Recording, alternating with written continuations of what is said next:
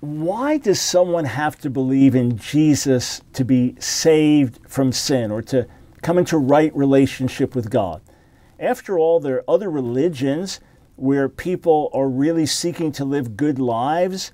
A traditional Jew is seeking to live a godly life and please God and live according to the Bible. A traditional Muslim, I'm not talking about some terrorists, but a traditional Muslim is trying to please God, whom they call Allah, and live a moral life. Different religions have different ethics and teach principles of love your neighbor as yourself that's not only found in Christian teaching. Why must we go through Jesus? Is it just saying the right words? Is it some religious formula? How could that be right? How could that be fair?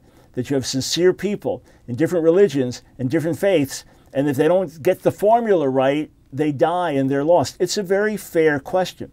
Let's look at it from this angle first if there was another way for us to be saved, if we could become righteous by observing commandments, if our repentance alone was sufficient, if we didn't need blood atonement, if we didn't need a substitute, a sacrifice, someone to take our place, then Jesus would not have died.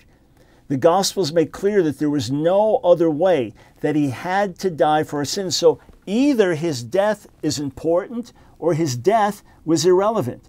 Either his death is essential or his death did not have to happen. As we understand it, his death had to happen because none of us could save ourselves. None of us, by doing good, can improve ourselves enough. None of us, by doing good, can outweigh the bad that's in us. None of us, by doing good, can satisfy the death penalty for sin. You say, but it's not fair. Why do you all have to come through Jesus? Turn it around and look at it the other way.